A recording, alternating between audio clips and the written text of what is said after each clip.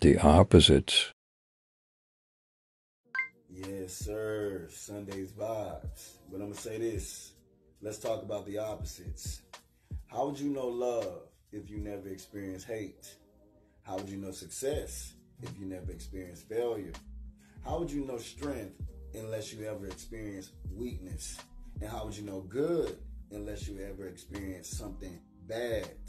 See, in wisdom, God wants us to acknowledge the opposites. So it's not so much in life what you've been through or what you're going through. Pay attention to how it's building you.